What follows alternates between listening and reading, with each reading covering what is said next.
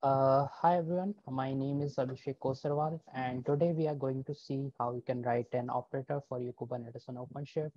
So let's uh, begin the talk here. Okay. About me, I'm a senior software engineer in the R&D department at Red Hat. I basically contribute to all the middleware operators that runs over OpenShift or Kubernetes. So pretty much all the middleware products, if you're familiar with Red Hat products like Keycloak, Fuse, Whimsy, and uh, various other products. So you can check out uh, those links on my either Medium or GitHub. So I do write about operators and write some demos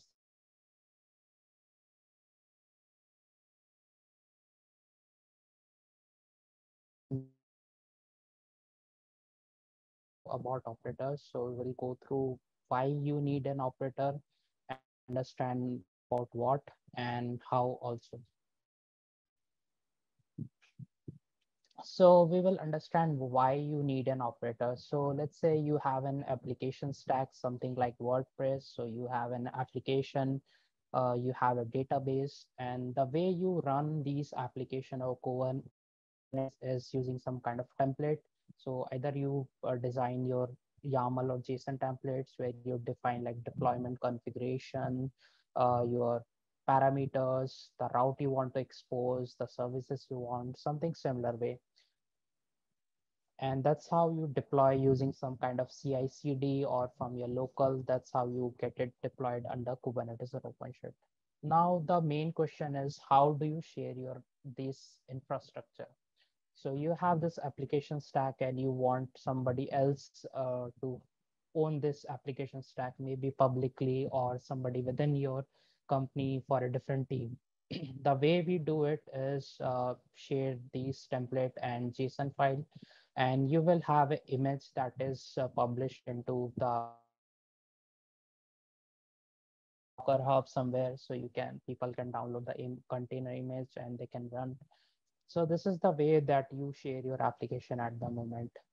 So there are a lot of challenges with this approach is the parameter like how you do custom specification. So if I get your YAML file or image, I need to update those custom parameters uh, or modify it according to my needs.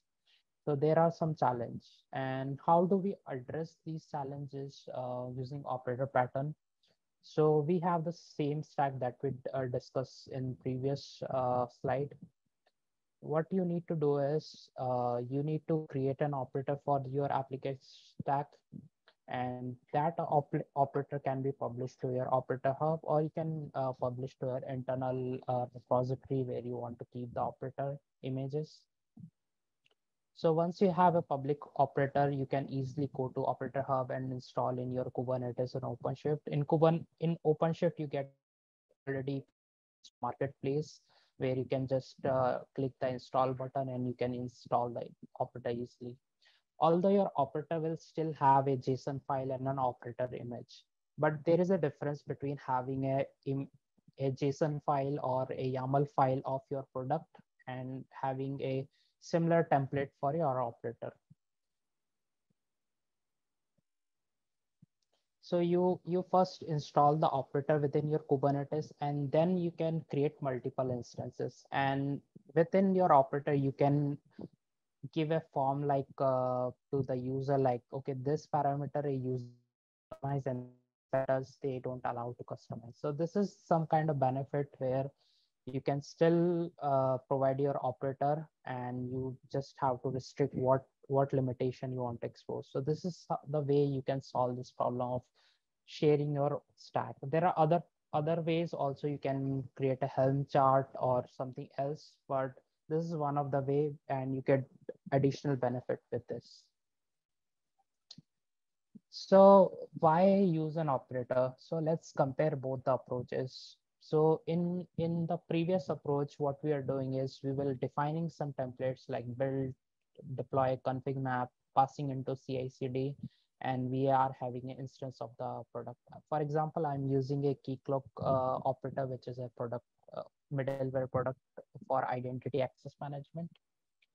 And now, uh, if we compare with the operator approach, you have keycloak operator, you get published to the operator hub and you can easily install with a one click option. And now once you need multiple instances, you can create n number of operands that you need what problem or what challenges does it solve is when you have an operator or when you don't have an operator you you get to challenge like how you share how you manage how you upgrade how you use so these all challenges are solved using your operator hub or your operator so you can easily subscribe or install you can do easily upgrades you can manage and metering costs so this is the additional benefit you get when you use OLM or you can even get with your operator.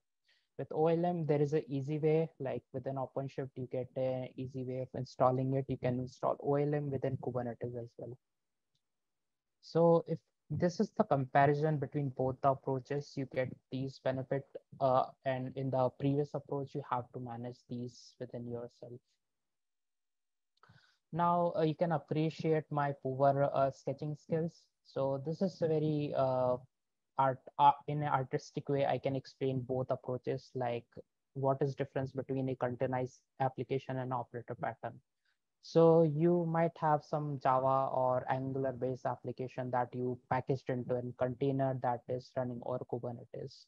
And the pattern generally application follows some kind of request response. So your application sitting within Kubernetes maybe doing some request response. But within an operator, you get uh, like Kubernetes enlightened. So what you get to know is you are aware about where your application is running. You can take benefit of uh, where you are running those applications. So you can interact with the Kubernetes API.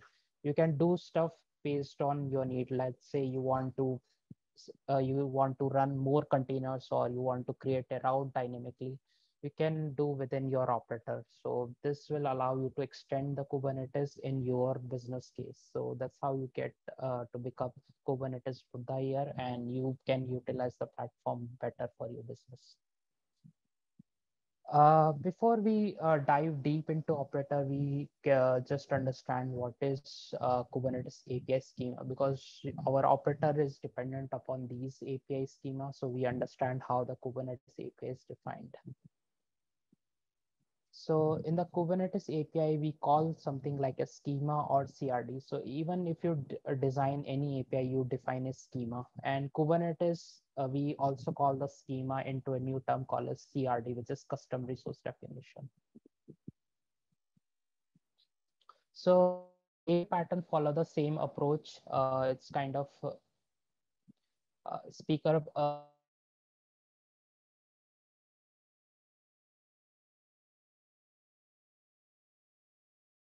what kind of resource that you want to create. Let's say this is an example of jobs API within OpenShift. Like if you want to have some multiple cron jobs, you can uh, hit this endpoint and you can create multiple uh, jobs for you. So how do you do that? Uh, like using the UI, what you do is you go to this uh, jobs icon within your OpenShift instance and you create an instance those instances are called custom resources through which you create multiple instances of the same resource. So pod, uh, if you talk about pod, which is also an API. So when you create multiple pods, you basically hit this API and you create multiple pods. So this is one example of job that you can create. So it's a cron job simple, which is running a Perl script. So you can create multiple instances using the CRD type. So what is difference between a schema and a CRD type is schema are generally referred to this internal predefined uh, API, which is comes out of the box with Kubernetes. And CRDs are generally used when you are defining something custom. So let's say I want a different kind of uh, job, let's say any other Python job. So you define a CRD like Python job CRD. So whenever you create a job by default, it will have a Python uh, running command for you. So this is the way you extend your Kubernetes API schema. So when you write an operator, you're basically extending this API schema with your own custom type. Now uh, we look into operator pattern like what does an operator basically do? So it's very kind of similar to an human operator. So where a, a human operator or we talk about us we do three things. We act we observe and we analyze. So these three things are also performed by an kubernetes operator. So first it will observe the events what's happening within your cluster. Then you can have logic to differentiate the current state versus desired state. So you can define like what is my current state look for a resource and what will it will look like when some action is performed. And for action, we do under a reconciler loop. So within that reconciler, you do all those actions, what you need to do. So there is a saying like operator is more like a SRE for your application. So you you can create an operator that will monitor and if there is a failure within your application, you you can use the reconciler pattern to repair those complex errors. And which is quite similar to the self-awareness theory, like observe your thoughts, analyze situation, and act wisely. So this is some philosophical uh, thing that operator pattern matches. So we can take an example of understanding how the operator pattern works internally. So we have an API, let's say I defined a custom memcache type, or this can be your pod or any resource that is already available within your Kubernetes or OpenShift environment. So I have a custom memcache database uh, kind type that I have defined. And the current state, it's, it's running three pods. So let's try to do some changes and see what happens. So let's do a state modification. So you have a size three and you are trying to modify the size to four. So this is your desired state. This is your current state. What happens behind? So this will start, uh, there is a change uh, you are desired to. And we have a watcher within Kubernetes. So in the watcher, you define which type of resource that you want to watch and you can also define which within which namespace you want to observe that event. So let's say the memcache currently defined under a namespace called example. So within that namespace you only watch object outside of that namespace you don't worry. And if you want to watch the entire cluster you can do it differently. So in the watcher you get basically you get notified to a controller. The watcher will watch events and it will notify your controller hey happening. So your controller will now trigger, give the control to this reconciler loop. And within that reconciler loop, you can take the decision whether you want to allow you to size four or you want to keep keep to the size three. And resync period is something uh, you define like within five seconds, you rerun this loop. So the condition can recheck again and again. So this is you do within the resync period and in this case we are allowing so there will be like updating the desired state to size 4 and this in this case we are allowing like like user can have uh the pods number of 4 and this is the traditional way kubernetes behave. Like you define some resource and you allow to size scale up scale down. But with operator you can restrict based on your need. So now we uh, go through a part where we this change on events that are uh, coming from the watcher. So current versus desired state. So in the current versus desired state, uh, you can see I'm trying to represent the same like a custom type with some pictures. So I designed a custom resource called as Red Hatter, which is a not present in Kubernetes. So I defined a CRD, which is custom resource definition of type Red Hatter and I defined one status for that uh, resource. So the status is currently we are under lockdown or quarantine state because of the uh, COVID-19 and you are just listening to me. And but what you want to do is you want to go outside and do some party outside. So this is your desired state, this is your current state. And this logic control loop. So you have desired state, you have current state, and now the control goes to reconcile. Like when reconciler, you can define some logic, what you want to do. And under the reconcile, we have the same, let, let's say we have defined this logic and let's now you try to do some changes. Like you hit a manual change, change the status to party, prevent fire under reconciler you have this logic like until covid-19 is fully gone you don't go outside and do parties sit at home and be safe and stay quarantined. So whenever you try to do this change your reconciler loop will act and make the status back to quarantine. So it won't let you do the change. And it totally depends on what you want to do with this custom logic. So this is one of the examples that using operator you can perform. And business case or some use cases like uh, you have a route and somebody in your production team accidentally delete that route so using this kind of reconciler loop mechanism you can regenerate those route uh, so that you don't have any production issues Okay, now we understood uh, the concepts, we understood why you need. Now we can go and understand the KubeBuilder or how you can build your operator. So Kubernetes uh, community comes with this KubeBuilder, which allow you to uh, generate a boilerplate code for your operator design. So when you generate basic operator for your, uh, you get this file system. And this file system is uh, generate a Go code where you have the Go code, which is uh, familiar to all the Go programmers. And while you get some auto commands that allow you to build and deploy this. In the project, you define some metadata like where the repo is, what is the name, and etc.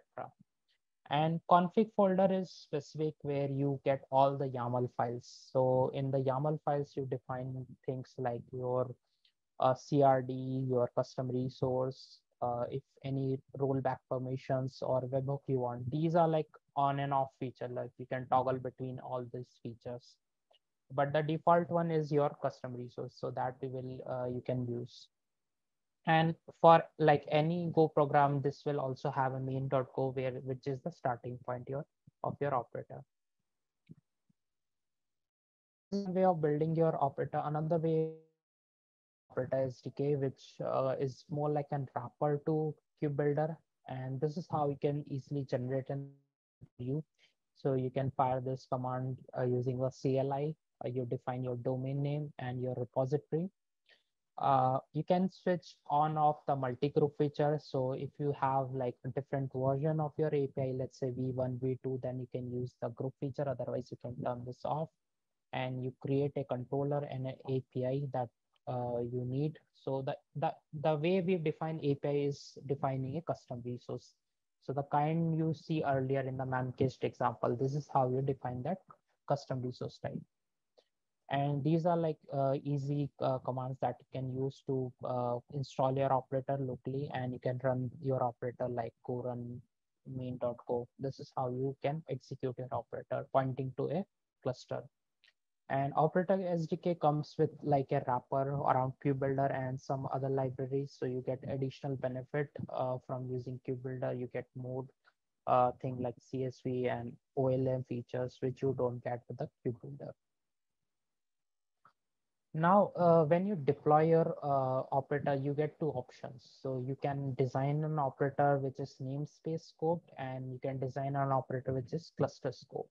So within that namespace, you are limited and restricted to one namespace and your operator will only watch resources within that namespace. But with cluster scope, your operator actually gets installed to a default operator location and you get to like have a instance of operator for each of your uh, namespaces and the watcher will watch any uh, event changes to the entire uh, your cluster wide. So this is how you can have two way of defining it. So the main uh, scoping things comes with the watcher, like how you write your watcher within your operator. So you which type of resource you are watching, whether you are watching a specific namespace, you are watching all namespaces, or you can watch multi namespace. So there is a one more option that you get like I only want to watch A and B. So you can use multi names there are different different uh, like ways you can watch so this is the way you define your operator like namespace or cluster scope now we uh, gone through the process of what are the concepts now we can the we can understand like what is the process of designing an operator like uh, how do you design an operator for your product. So there are three stages. I try to break this process. So first we understand our product. So you can have any application that you want to build an operator. So we will define that product. We will identify the goals of your operator, like what operator should do and what it shouldn't do. And we will finally do the implementation. So for this example, I have a uh, demo which a simple Quarkus application. It can be a React application, a Python application, any kind of application. So first, what you need to do is you need to define the uh, templating for your application. Look like whether you want to expose a service on which port it will work. So try to define file I take Quarkus because uh, with Quarkus, you can by default generate this Kubernetes and OpenShift YAML file. So uh, you can easily generate uh, these files. So for example, it will be but much easier if you want to try, the, try this out. Now we, we have this application, we have the YAML files. You can even try to deploy those YAML file and see your application is actually working or not. So once you have those pieces, what you can do is you can now identify the objectives. So in this example, we will create these YAML files using programmatically using operators. So what we'll do is we will create the instance when it is required. We will watch for event and we will reconcile it. So we can modify and recreate these components. So we will define a deploy config, we will define a service, we will define a route. Uh, any questions uh, till now? Um, yeah, we actually do have a question from uh, Venka Tamur, uh, Tamuru, Tamaruti Talapagada. Uh, can we create an operator to set some kind of trace string or to change any configuration? Uh, yes. So you are talking about config map or you want to modify secret, you can do that. Or does that answer your question? Uh, yeah. Um, so far, there aren't any other questions in chat. Is there anyone else that might have a question?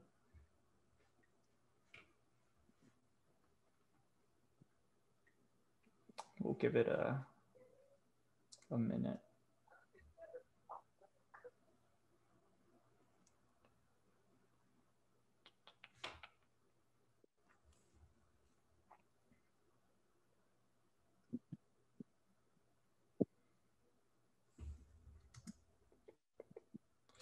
Um, is there any operator available for uh, TWAS to make config changes directly?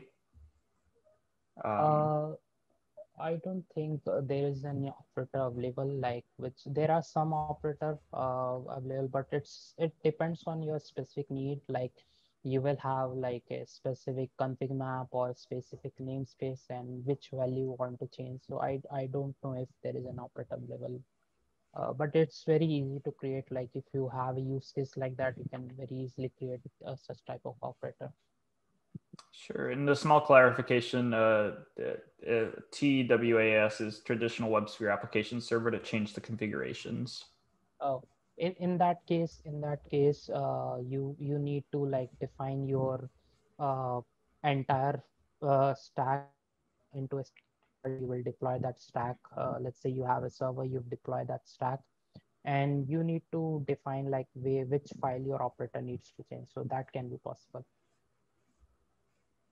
Cool, cool. Uh, thank you for the questions, Venkatamaruti. Um, let's continue on. Okay. Uh, so for the demo part, uh, what I will do is uh, I have a Katacoda scenario so that uh, you can try out. That's why I created it uh, we can post this on the chat.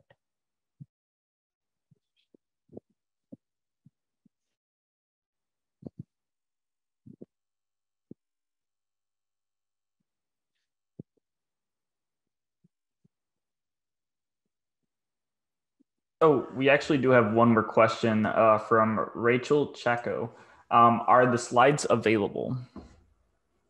Uh, I think yeah, we can we can post the slides. Cool, cool. Um, and you mentioned, for the link in chat.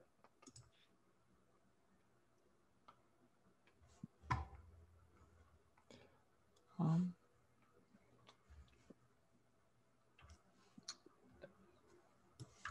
can you send me this link so I can post it in chat or? Yeah, sure.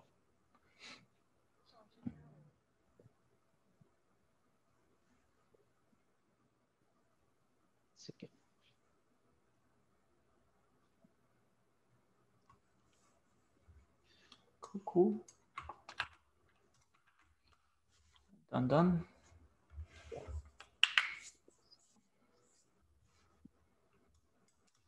Right. Um, are there any other questions from chat around?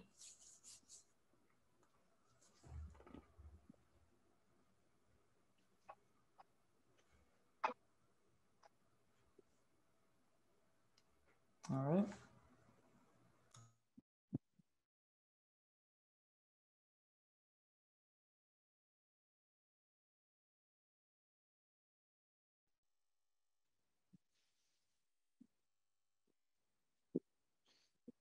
All right. Uh, so uh, this is the scenario that you can follow even after this talk. Uh, that will give you a very good idea about what we are going to do. Uh, so this is scenario exactly designed for the talk I gave. Like we have the same scenario where we have a Quarkus application and we are trying to build an operator for it. So I already created an a Quarkus application and published that image to Docker registry uh, using this name. And these are the YAML files that you can see. So we have this service account, we have the service, we have the deployment config, and we have the route. So these the uh, these are the generated schema like YAML files that you need to generate for your application. And so this is Java application. So what it will do is it will run this jar and it will pull this image. So the same thing we need to do with the our operator.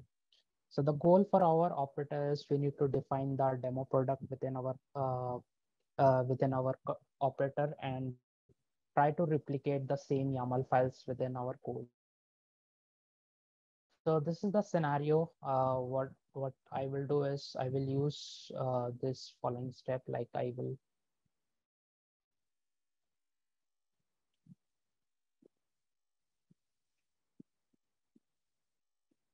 I think the window is open for quite a while. So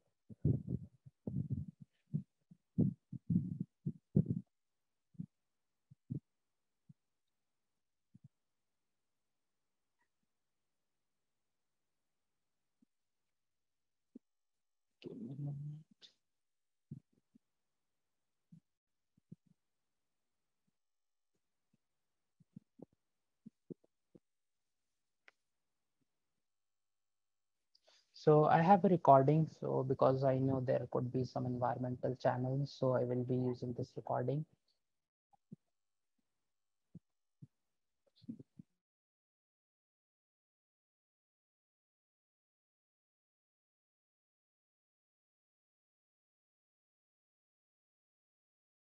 And I will use the operator init command for generating the operator for us. Uh, now the main thing we will do is we need to define an API and a controller for our demo product. So once we have the operator generated, we can uh, create an API of type demo product and we will have a controller corresponding that API. So you can have an APIs based on what you want to do. Uh, once you have the like API generated, this will the this will be exposed over this uh, path in the Kubernetes. So you can actually use curl command to hit this uh, API endpoint once you have the API controller and your operator installed. So uh, next step is what we need to do is we need to create some custom specifications. So for this product demo product, I just want my customers or my end users to do only two things. One is they can define the number of replicas and they can define the route name. So which on which route it should be exposed. And once you have the like, once you have copied this, uh, so when you have like operator operator generated your operator SDK, you get the boilerplate code auto generated. So when you have like uh, API generated, you have the spec and the status. So specification are used for defining the items that you want to like replicas and host them. And status is something you will define like, okay, the pod is running, the pod is failing, something like that. So you can define uh, the custom specification that you need. We have to, and I don't have any at the moment. So once you make any edit to this file, you need to use the make generate and make manifest command. So this will generate your uh, custom resource definition for you. Sorry.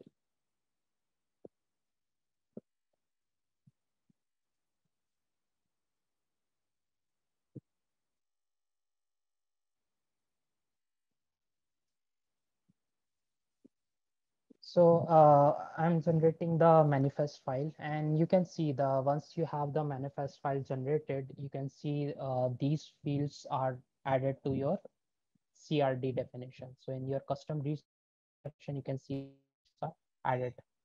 Now we comes to our main part that is controller. So in that controller, these all are boilerplate code and you will get a default reconciler. So what I did is I basically imported some of the code and now what I am doing is I'm just uh, defining this main logic that I want to do. So within that logic, what I did is, sorry about that. Okay. So within this main reconciler loop, I'm defining the context. Uh, the context is already there. I'm just assigning a variable. I'm assigning the logger and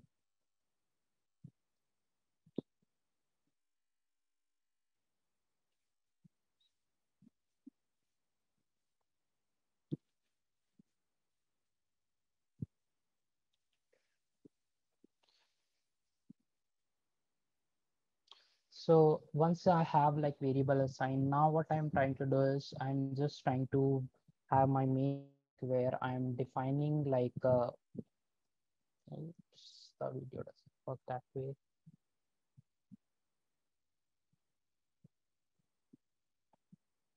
So uh, what we're trying to do is have the API generated now. What way of doing is we try to first uh, get the state uh, state of that uh, API that you define. So demo product is something when your operator is up and running, you have the demo product uh, uh kind of CRD that is defined. You will get uh, using the Kubernetes client library, and you will get whether what is the status or you can fetch that resource or not. So the core concept is you fetch that resource and then you try to create or modify that resource. So same thing you will do for creating a deployment, you will do for creating a service. So I have defined three requirements here. One deployment, one is for service, and one is for route. So we will go one by one each. And there are some labels that were defined in our uh, YAML that was generated. So I'm created a function that will create these labels. So now uh, what I'm trying to do is I'm trying to create this YAML files into the reconciler. So first we will do a deployment reconcilers. In that we will try to convert that deployment config into the code.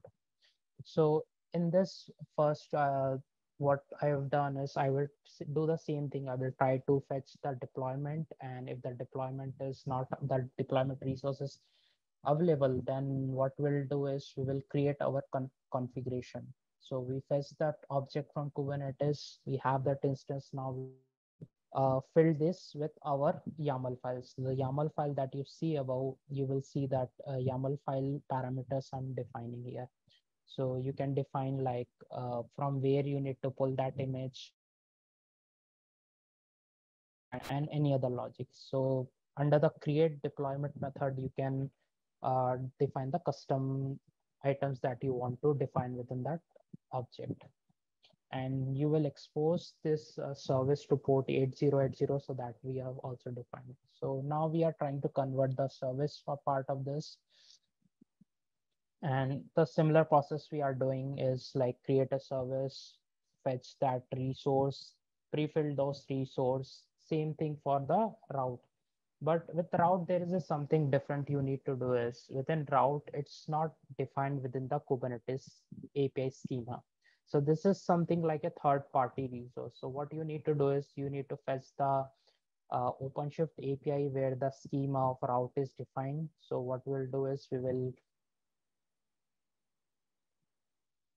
we will go do a go get and we'll, we'll which we have once we have the API installed, we will update our main file. So in the main file, we will uh, update this init method. So in this init method, you need to define any custom schema that you want to add. So the route schema we will add to our operator. So it, it gets defined.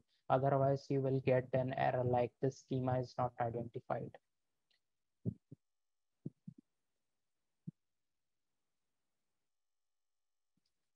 So now now we have added the route as a schema. We will follow the same process of creating route reconcilers and we will import and create a method like create route and we will convert that. Uh, we will convert our YAML file into the Go code. And now this is all that you need to do. Like what we have done so far is uh, created a three reconcilers. One is for our deployment configuration. One is for your route, one is for service. And I have done nothing special. I've just uh, used the Kubernetes client for doing a call, create call. And I have just uh, copied the spec that we have generated for a YAML file into a method. That's all I have done. Now we will try to deploy on an OpenShift instance. So within this Katacoda scenario, you will get an OpenShift instance pre-running so you can click that console button to open that OpenShift instance and you can, the your OC client will pre-log. So you just create a new pro project like demo product, you can do the installation and you can use the make run enable webhook. So this will run your operator. Now your operator will get started So at the moment, you don't see any container within your OpenShift because you are running this operator locally and it is interacting with your OpenShift cluster. Uh, so your operator is running, but it's not having anything like it's up and running, but it's not doing anything because it's actually waiting for a user to create a custom resource of your demo type. So until you do that, it will just up and running and waiting for any events to occur. So in the next scenario, what we will do is well, we will try to create a custom resource of our demo product type. So with any operator, you get a sample uh, resource like CR file. In that CR file, I'm just uh, creating, updating the spec to a replica one, and I'm just using the OC uh, command to deploy that CR. Now we can check like uh, within the your op OpenShift, you can see that the pod is getting started and your route is generated now we can go to the OpenShift instance and we can also look into there like what's happening. So I'm using the admin admin password here. And we'll go to the demo product.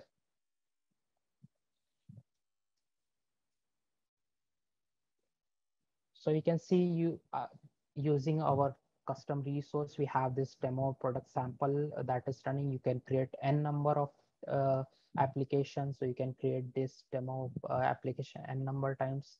And now we have the route. So this is the product page, that Quarkus application page. So any Java product that you will be running or the operator will be creating, this is how it will look. And uh, using this, you can ensure that anything anything that happens to your configuration, you can control from your you can control it from your operators. So any any modification or any anything like route deletion or config changes you can uh, control using your operator logic. So this is all i have to present as a demo. You can go ahead this scenario and you can try uh, try it out and try to design an operator using a similar approach